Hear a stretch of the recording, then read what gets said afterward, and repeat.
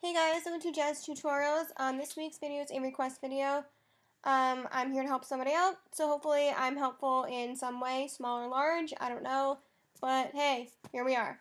Alright, it's going to be a text tutorial, so just so you're aware of what it's going to be.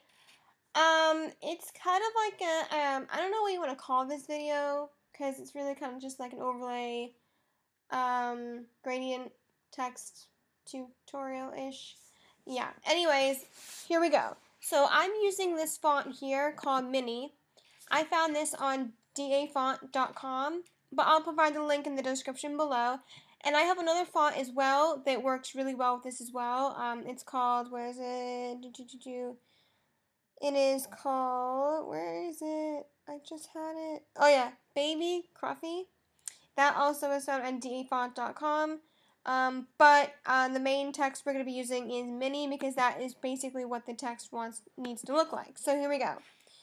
Um, and I'm using a pale pink color, um, salmon color I guess should say. Um, this is the color you need for your text. Um, so click OK. And we're going to go ahead and double click our text layer. And um, I already have this in my styles, but you're not going to. So I'm going to show you what I did.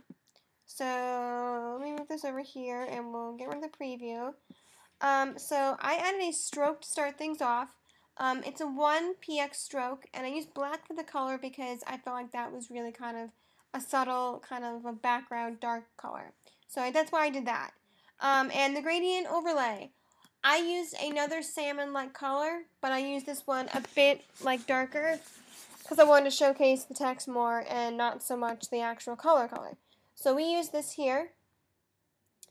And I clicked on the feather up here.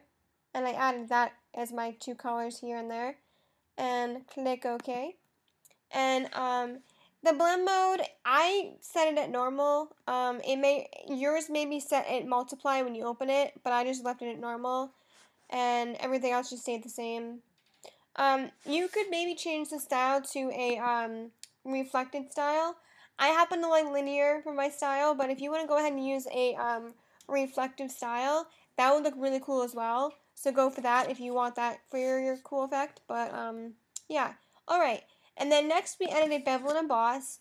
And the only thing I really changed in this um, setting here were the two colors of highlight and shadow mode because basically that's all I needed. Oh my god, why is my phone being stupid? Anyway, um, so, um, this color here is for your highlight mode. Okay. And then for your shadow mode, I chose this lovely color here. And that I left there. And then I added a drop shadow. And I chose black, obviously, for the color because that's how you want your shadow.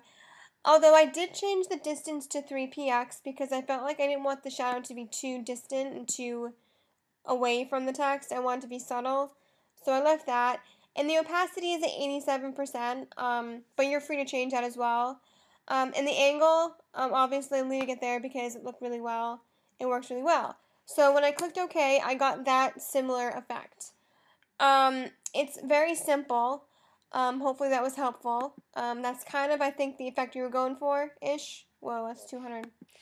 So, yeah, I don't know if that was what you're looking for, but that's kind of where I kind of saw the text in your uh, message. So there we go. Um, so to whom you to whom this video concerned, hopefully it was helpful to you, and hopefully other people found it helpful to them as well.